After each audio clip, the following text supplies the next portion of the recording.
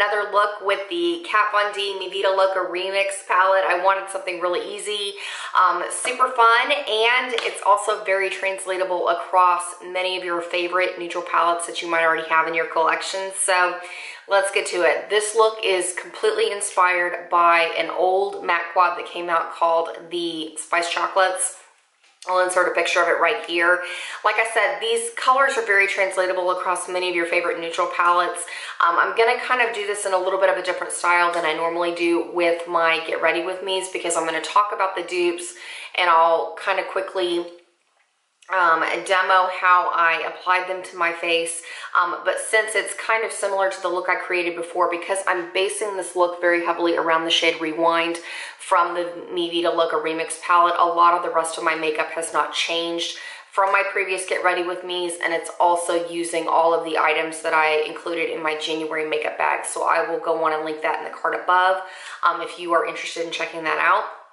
And for reference, if you want ideas for other substitutions for eyeshadows that you can bring in from the rest of your collection, I will include them in the description box below so that that information is readily accessible for you. So um, in order to mimic the colors kind of going on in that Spiced Chocolate Quad, I really went inspired by because there's a kind of a burnt bronzy orangish red shade the burgundy uh, white and then the um, deep espresso shade.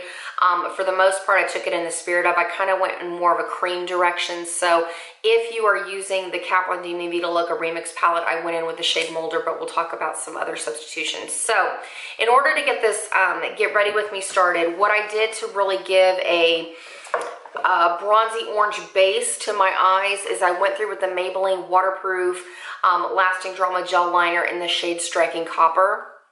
And I use that all over my lid. You don't have to do that, um, but I'm, I'm kind of noticing that my eyeliner in particular is, is starting to dry out, so I figured that would give me a way to be able to enjoy it um, and, and get some more use out of it before I need to just toss it for my collection. And then what I'm doing is I'm following through with an LC brush with the shade Harpsichord from my Mi Vida Loca Remix palette.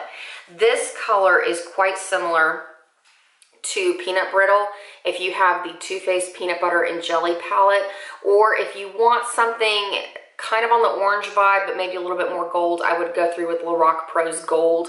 That would also be a nice alternative, not quite as orange um, as this shade, but again, along the same lines, once you apply the rest of the shadows, they do look quite similar on the eyes. So that gives you another alternative as well, in addition to Harpsichord if you don't have the Kat Von D Mi Vida Loca Remix palette.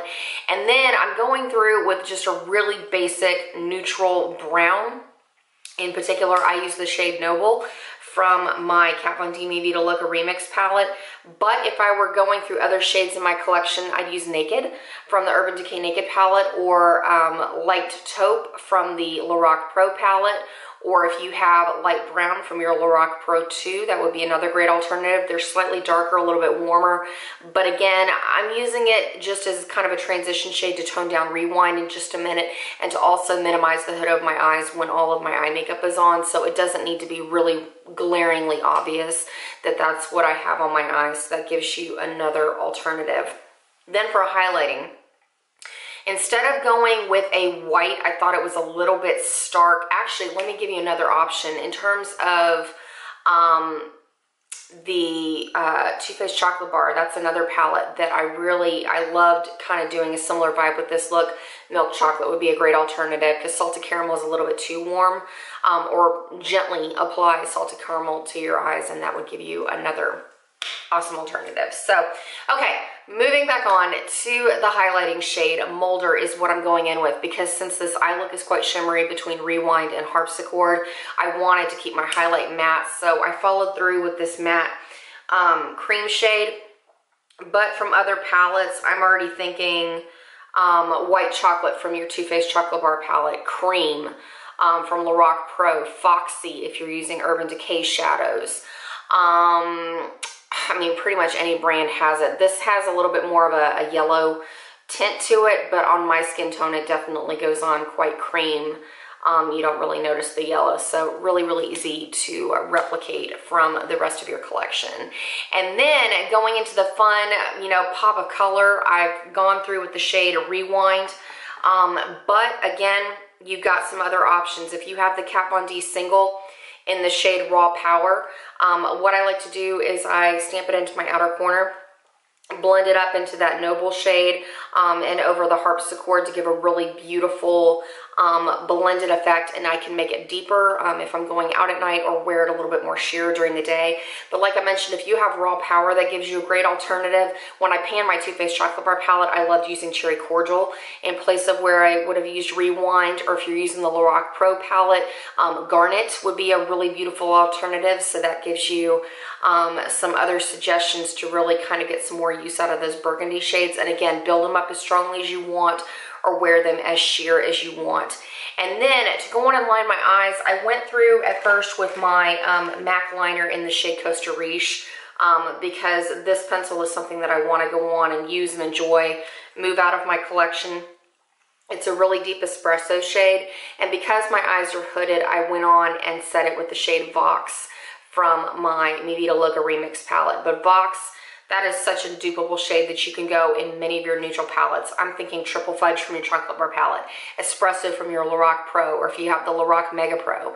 Um, you know, I'm trying to think of what the MAC version is. I mean, you can find a deep matte espresso shade and you are good to go. And then on my lower lash line, this is the kind of look that I love to mix um, if I want to wear a navy liner, I've got that option. If I want to wear purple or if I want to wear green, um, if I want to wear uh, pretty well, I kind of stay with the warmer ones, but I mean, you can go brown, you can go burgundy, you can go purple, you can go navy, you can go teal tons of different options. Today, like I said, I stuck with my January makeup bag items.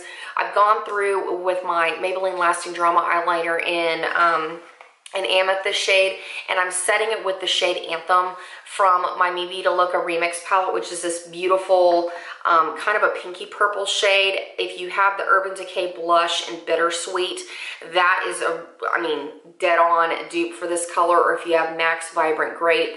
But I also love this look, like I said, pairing it with a navy liner, pairing it with a Deep Forest Green. So if you wanted to go in with the shade Lemmy um, from your Mi Vida Loca Remix palette, or if you wanted to go through with, um, teal liner, like when I pan the Justice League panning item challenge. I love uh, uh, pairing it with the teal for the Aquaman shade that I was going through. So it gives you a ton of options. And then as far as the rest of my face goes, my blush, I'm wearing the Clinique Cheek Pop in the shade Cola Pop. It's just a really pretty burgundy shade. Let me show you right here.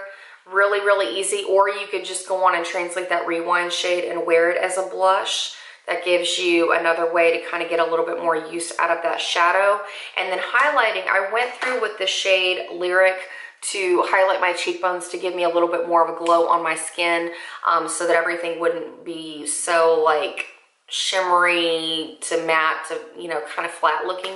So um, if you don't have the Kat Von D Mi look or Remix palette, the Kat Von D Single and Thunderstruck is a beautiful alternative. And then lips, I'm keeping it really, really easy. I wanted the warm, neutral vibe. I don't want to think about the lip color this month. I just want to pan it and go. And so I've got on my MAC lip liner in the shade Whirl, and I followed it up with my Bite Beauty A Amuse Bouche lipstick in the shade Chai. I love this combination together. So really, really, really easy. And like I said, you can, you can translate this look across um, other palettes that are favorites in your collection. If you have the Lorac Mega Pro 3, that's another um, great alternative. Or if you love MAC shadows, you can easily find um, dupes for these shades in your collection and, and be able to rock a really easy wintry smoky eye that has some warmth and some flair to give you just a you know, a, a sophisticated go-to everyday appeal. So that is about it. Thank you so much for giving me a little bit of your time. I hope that you have just as much fun trying out this look. It's super easy to wear to school, wear to work, um, wear running your errands, um, wear for a night out if you want something really just um, neutral, but again, you can amp it up and you can pair false lashes with it. You can wear it with glasses, you can wear it with contacts super, super easy. So I hope that you have just as much fun with it. That about wraps it up for now. I look forward to seeing you for the next one. See you later.